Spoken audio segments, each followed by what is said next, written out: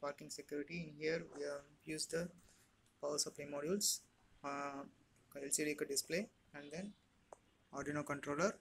Output is the Zigbee buzzer and then relay for switching out the supply for DC motor and RF key for the key remote switch.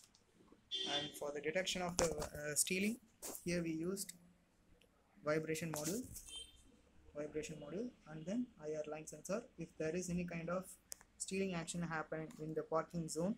So vehicle is present. At the same time vehicle is theft so we can get the information over zigbee and then